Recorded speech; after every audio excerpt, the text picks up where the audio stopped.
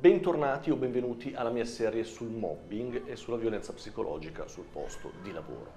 Iniziamo con questo video la sezione conclusiva di questa serie, ma composta da più di 10 video, una sezione che ha a che vedere con qualche strumento per capire più visceralmente il mobbing dopo averlo descritto in modo diciamo formale e anche alcune strategie utili per depurarci dall'inquinamento psichico patito. Ecco, rispetto al fattore, come dire, terapeutico, vi presenterò una metafora.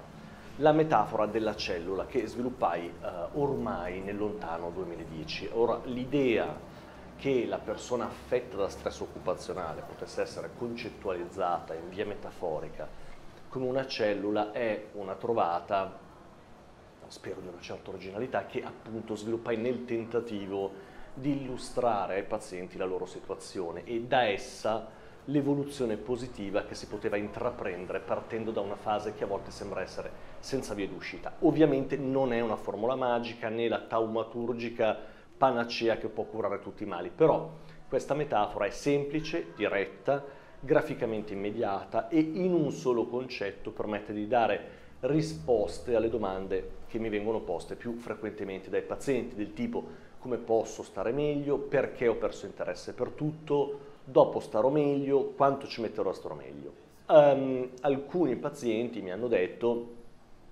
devo dire con mia uh, soddisfazione, che non avevano mai visto una rappresentazione della propria condizione più chiara, più netta. C'è anche chi mi ha consigliato di non rivelare questa metafora, diciamo così, terapeutica, perché poi sarebbe stata copiata se io avessi avuto bisogno poi di usarla, ormai diventata di pubblico dominio, avrebbe potuto avere meno impatto sul paziente. Tuttavia, se avessi agito seguendo quest'ultimo consiglio, non sarei stato migliore per certi versi dei mobber che per narcisismo tengono per sé potere, ruolo, idee, cioè uguale a quelle persone dalle quali i pazienti mi hanno chiesto di salvarle, diciamo. Eh, così mi sono detto che se questa metafora stata utile a coloro ai quali era stata mostrata poteva esserlo anche per i lavoratori in difficoltà che non avevo ancora incontrato e che probabilmente mai incontrerò, ma che forse potrebbero essere aiutati, come dire, ad aiutarsi. E se ciò significa per me sottrarre una freccia al mio arco, va bene, perché in fondo il mio lavoro non è cacciare, ma produrre archi e frecce. E poi credetemi, la mia faretra ha parecchie altre frecce. Iniziamo quindi con il dire cosa occorra fare per stare meglio, poi tratteremo il come. Allora, partiamo.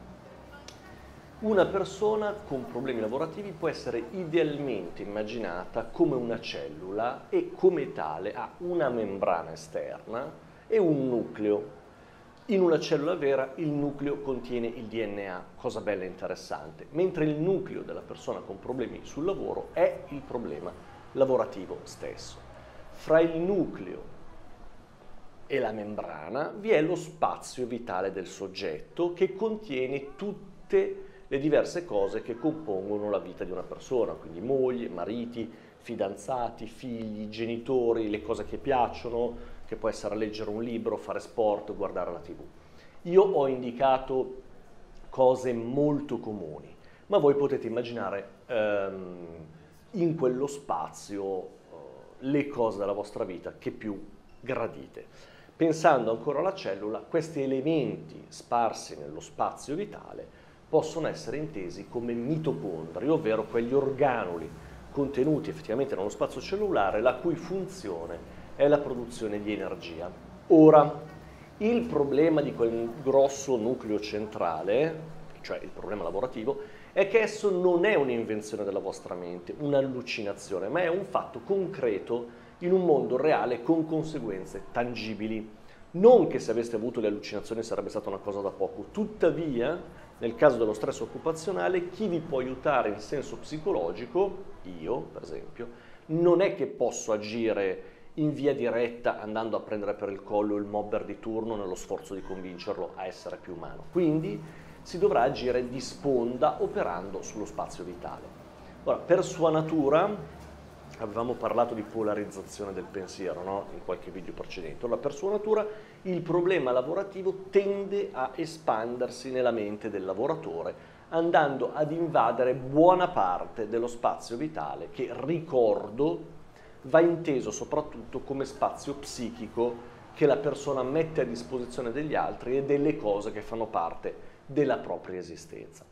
Quindi la persona che patisce stress occupazionale non pensa ad altro che al lavoro e parla quasi sempre di lavoro, cosa che può in effetti inasprire le relazioni che ha con chi lo circonda.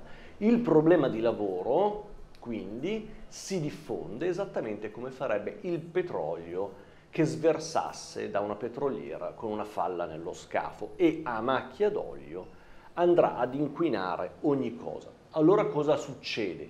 Accade che gli elementi che per loro natura non c'entrano nulla con il lavoro vengono intaccati dalle negatività psichiche provenienti dallo stress lavorativo, il quale esercita ormai una tale pressione mentale che per osmosi, ricordiamoci che in una metafora cellulare, non lo dimentichiamo, fa passare il suo contenuto nello spazio vitale dell'individuo.